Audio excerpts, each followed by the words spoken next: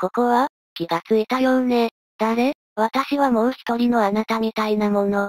詳しいことはフランを助けてからね。フランを助けることができるのぜ。私たちが力を合わせたらね。どうすればいいのぜ？フランを助けるには、フランの精神世界に入る必要があるの。私がサポートするから、あなたはどうにかしてフランに触れて、触れることさえできれば私の力で精神世界へ行くことができるから、わかった、やってみるのぜ。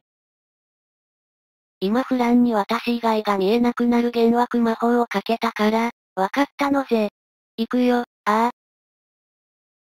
姿を隠すからフランの隙をついて、わかったのぜ。限界不明フランすぐに助けるからな。行くよ。ああ。フランはどこに、あそこよ。あはははははははははは。どうした力が弱まってるぞ。ぐー、まだ私という存在を認められないのか。うるさい。私はあなたじゃない。わかってるんだろ。私はお前だと。お前の中にある狂気だと。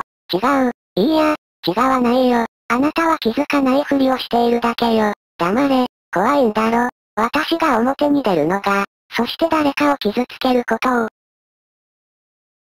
ぁ、あ、はぁ、あ、はぁ、あ、一人で抱え込むのにも疲れたんでしょ。楽になりなよ。ぐー、じゃあな。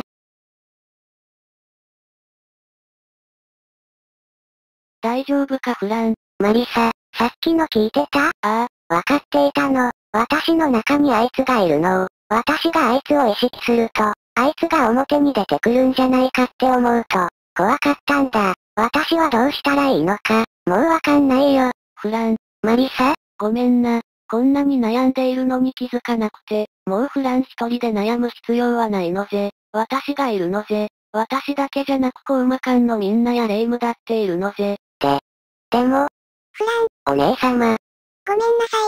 あなたが苦しんでいるのに、何もしてあげられなくて、もうあなたを一人にさせないから、あなたの苦しみ私も一緒に背負うから。だからお願い、戻ってきて。お姉様、ありがとう。もう大丈夫か？うん、行ってくるねマリサ。ああ、行ってこい。覚悟を決めたようだな。私はあなたを抑え込んでみせる。できるかなあなたに。あなたと対峙するのは怖い。でも、私にはみんながいる。だからあなたにぶつかっていける。